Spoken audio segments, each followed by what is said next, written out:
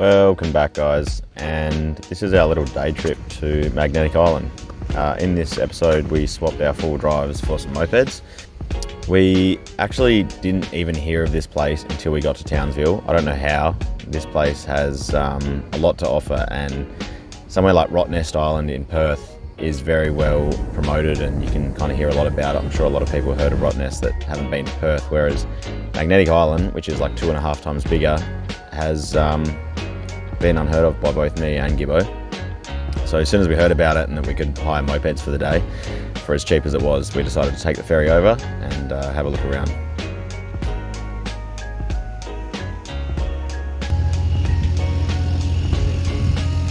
Well, we've just got the PEDs and we're sitting at Horseshoe Bay. This is the other side of the island to the ferry.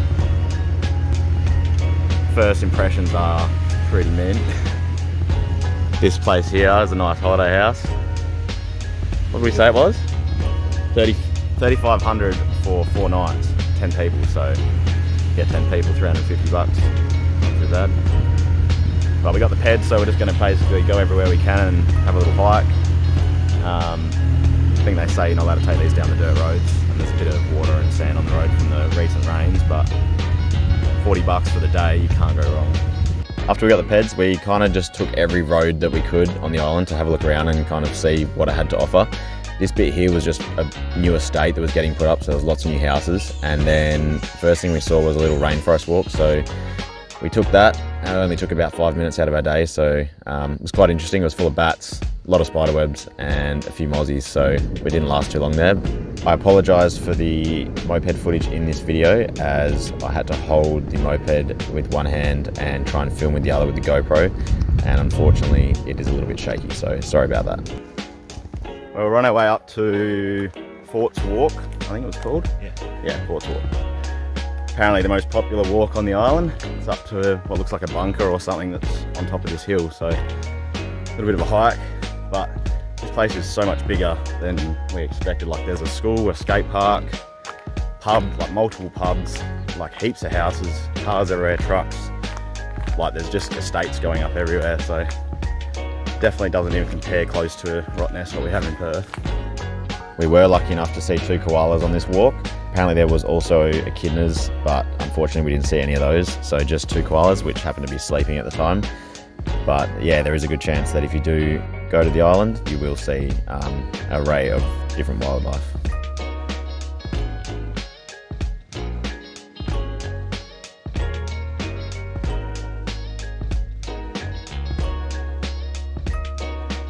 Alright, so made it to the top of the fort walk and this is the old fort that's literally right on top like nearly the highest point on the whole whole island basically get a pretty unreal view it's also pretty amazing to think that someone built this over 50 years ago got everything up here and managed to make it I was actually really glad that I took the drone on this trip because it was a day trip where all we took was basically a backpack, some water, and I took my camera gear obviously originally I wasn't going to take the drone and I thought, you know, I don't know what's over there, so um, why not take it? And this shot here was enough to prove exactly why I was happy to take it. It just shows off the, the size of the island and kind of, well, this is definitely one of the most scenic hikes that you could do on the trip. Yeah, it's an absolute winner.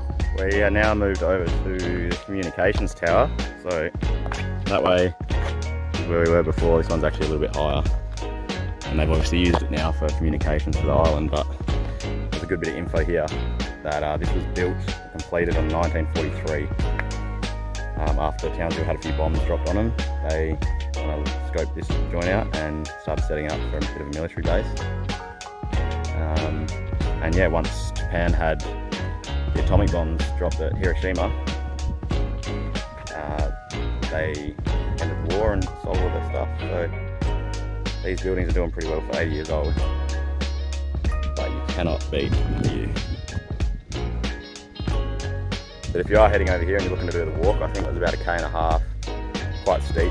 Uh, we saw about two koalas on the way up and I highly recommend it. On the island there's only a set area that you can actually take the mopeds on. It is very hilly and the roads are quite average. There was also a lot of rain there recently so there was a lot of sand and stuff on the island so Mopeds did struggle on a lot of the big hills and it was quite sketchy, but you can hire them on a basic car license, which is a bonus, and um, they definitely get you everywhere you need to go. Um, just here we run into a little rock wallaby, which I guess in similarity to Rottnest Island, they have the quokkas. This was uh, Magnetic Island's version of the quokka.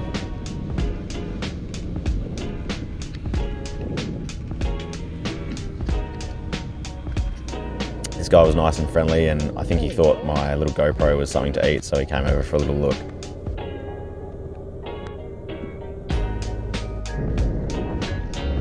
But yeah, unfortunately, Gibbo's helmet actually had a GoPro mount on it, and I didn't have the little clip-on mount with me, which would have made life a lot easier, but um, therefore I had to use the handlebar grip.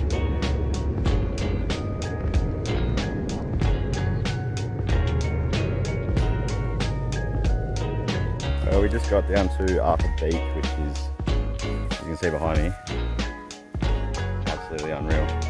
It's about a 15 minute walk down from the car park. Used to be able to drive down here, but I think either the hill's too steep for the mopeds because the mopeds really struggle on these big hills. So as you can see, that house in the background, it's actually got its own website that you can hire out. Um, I believe it's a four day minimum. And going off what the guy that hired the moped to us said, I think it was something around 3,000 a night. Um, absolutely ridiculous, but if you look at the view, you've got that whole beach to yourself and further on there is Florence Beach as well, which is also a very similar beach and probably the two nicest ones on the island. There is a track down to that house which used to be open and I think a lot of the locals are quite pissed off because it's since been closed due to um, the mass tourists that now come over. You can park at the top, which is what we did, and walk down. It's only about 15 20 minutes, but it is quite a steep hill. Unfortunately, we forgot our snorkeling gear. Uh, we didn't realise, as we were used to so much, so many areas being closed due to crocodiles and stuff like that, we thought not to bring the snorkeling gear. Although pretty much most places on the island they say that you can snorkel and can swim. So just a little bit of information if you're on your way over, make sure to take some snorkeling gear with you. And if you've got the money, then hire that house out for a day because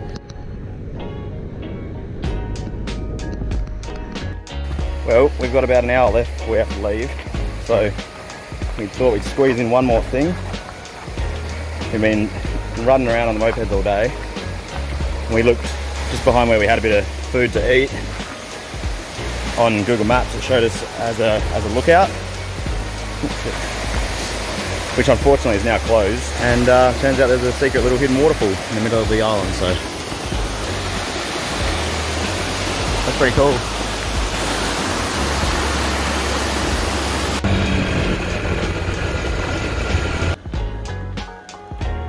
Well, we've had an absolute ripper day here at Magnetic Island.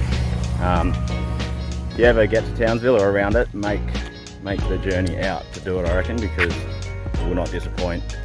I think all up probably cost us a bit over $100. That was ferry tickets, scooter hire. I think it was $2 to fill the scooter up after a full day of riding, and like a $30 pub feed. So, um, highly rate this place walking back to the ferry now. I think we're going to make a four o'clock one. Decided to catch that so we can get to a camp tonight rather than get back to Townsville at dark. Yeah, make the trip over. And you won't regret it.